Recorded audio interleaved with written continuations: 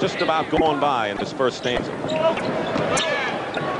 Harris blocked by Jordan. Kicked out of bounds. It's going to be Celtics ball. Make it Bulls ball. Last kicked by Dennis Johnson.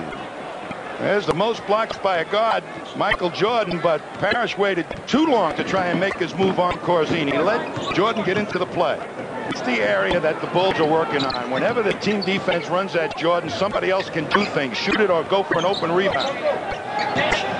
Double team Corzine and Oakley on McHale. Harris gets the offensive rebound. Try to stuff it through and miss. You don't often see that from Pat with McHale and Parish on the side. Jordan comes out of nowhere to block the shot. Three block shots for Michael Jordan. Jones is going over to the scorer's table to check something there. Might be the clock and whether they reset it. Goes inside to Walton, and here you're going to see Jordan just come from out of nowhere with that speed of his, save the ball. And the argument was how much time on the clock. They gave the Celtics a new 20.